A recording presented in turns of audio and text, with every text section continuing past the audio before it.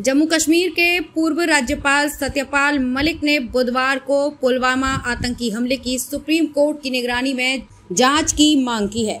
उन्होंने दिल्ली स्थित press club of India में पत्रकारों से बातचीत करते हुए कहा कि नरेंद्र मोदी सरकार अब तक अपनी गलतियों को स्वीकार करने में विफल रही है, जिसके कारण फरवरी 2019 में कश्मीर में 40 सीआरपीएफ जवानों की हत्या हुई।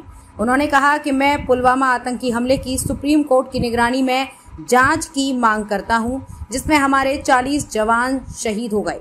अब तक प्रधानमंत्री नरेंद्र मोदी और उनकी सरकार ने इस त्रासदी पर चुप्पी साध रखी है और गंभीर खामियों को स्वीकार करने में विफल रहे हैं। सत्यपाल मलिक ने कहा कि मोदी ने पुलवामा हमले के बारे में इस साल अप्रैल में उठाए गए गंभीर सवालों का जवाब भी नहीं दिया।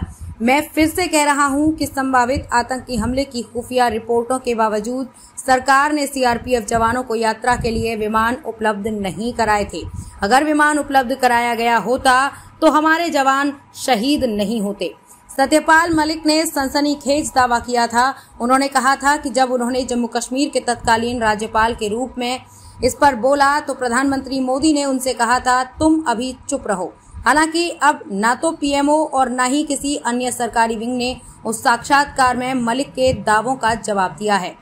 द टेलीग्राफ ऑनलाइन की रिपोर्ट कहती है कि सत्यपाल मलिक के आरोपों के बाद सीबीआई ने केंद्र शासित प्रदेश जम्मू और कश्मीर में एक कथित स्वास्थ्य बीमा घोटाले के संबंध में पूछताछ करने के लिए उन्हें समन जारी किया था।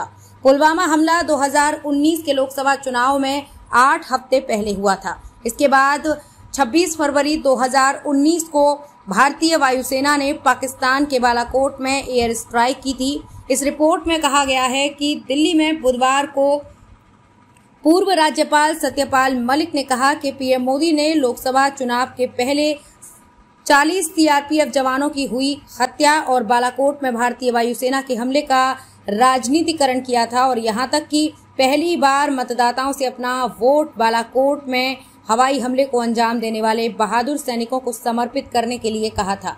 उन्होंने कहा कि तब से चार साल से अधिक समय का हो गया है, लेकिन मोदी सरकार जवाबदेही तय करने में विफल रही है।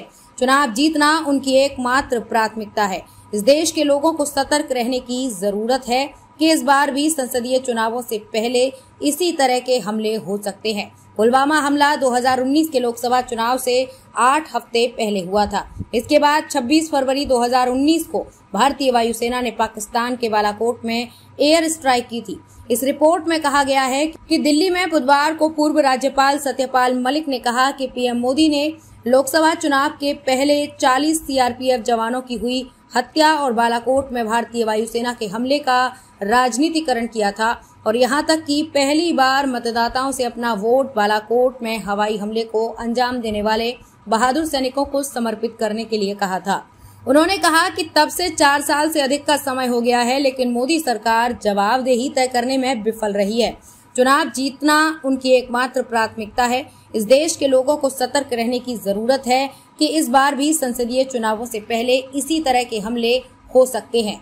द टेलीग्राफ ऑनलाइन की रिपोर्ट बताती है कि 14 फरवरी 2019 को पुलवामा नरसंहार में 40 सीआरपीएफ जवान शहीद हो गए थे। अधिकारियों ने कहा था कि विस्फोट में जैश ए मोहम्मद का आतंकवादी अब्दुल अहमद डार भी मारा गया था। डार को जम्मू कश्मीर पुलिस ने कई बार गिरफ़्तार किया था, लेकिन हर बार रिहा कर दिया गया था।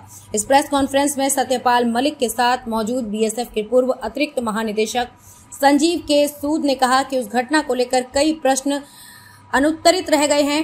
मलिक की बात को दोहराते हुए उन्होंने पूछा कि सीआरपीएफ जवानों को मांग और कई खुफिया एजेंसियों द्वारा उजागर किए गए सुरक्षा खतरों के बावजूद हवाई परिवहन की अनुमति क्यों नहीं दी गई थी?